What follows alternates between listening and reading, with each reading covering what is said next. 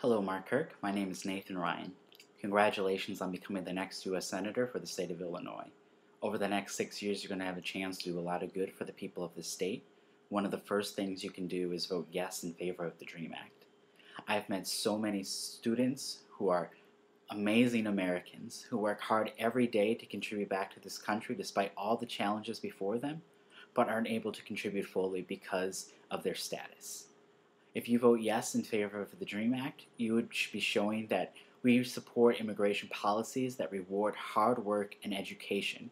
Um, these students who would qualify are exactly the kind of people who have always made us a great country. Please vote yes in favor of the DREAM Act. Thank you.